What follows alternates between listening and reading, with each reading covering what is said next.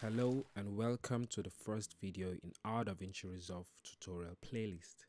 In this video, we'll walk you through the basics of DaVinci Resolve, helping you get started on your journey from novice to pro. I'm Raj Hartistry and I'm excited to guide you through the essentials. Let's dive in. First things first, let's take a look at the workspace. When you open DaVinci Resolve, you'll see the interface divided into several sections and pages. We have the media pool page, the cut page, the edit page, fusion page, the color page, the Fairlight page, and the deliver page. The deliver page allows you to render and export your video.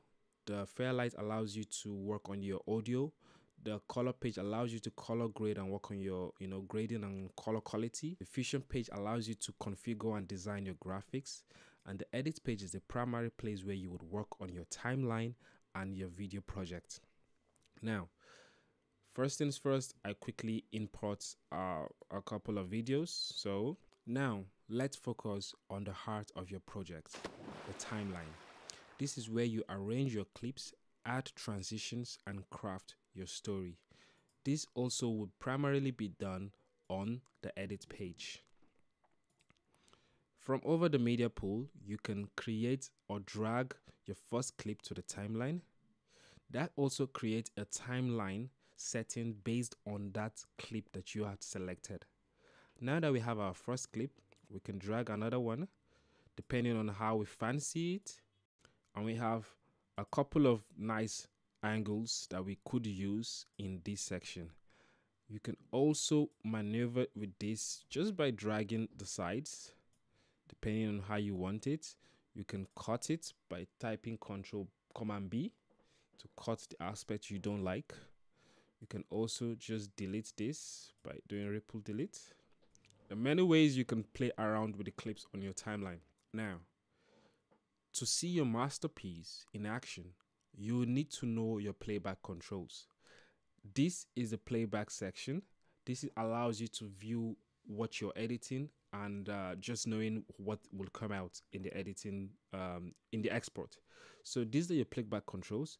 You can see the go to previous edit, go to next edit, the stop, the play, the play reverse which plays backward.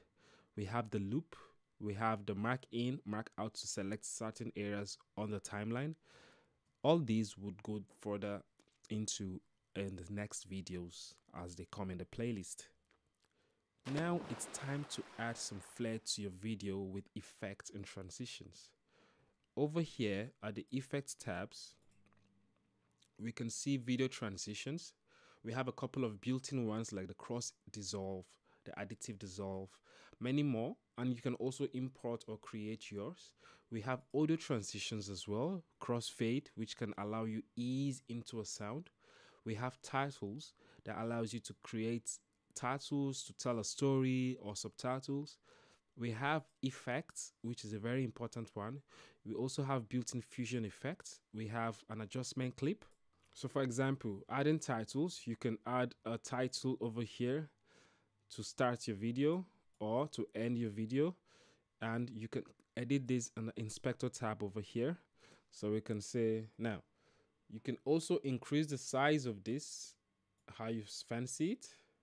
You can adjust its position on the x-axis. Uh, there is so much but it depends on you.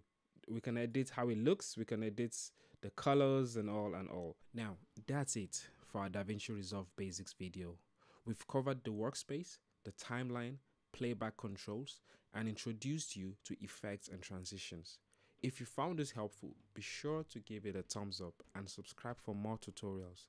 Stay tuned for part 2 where we will dive deeper into how to use some of these features and how to create or import yours into the project.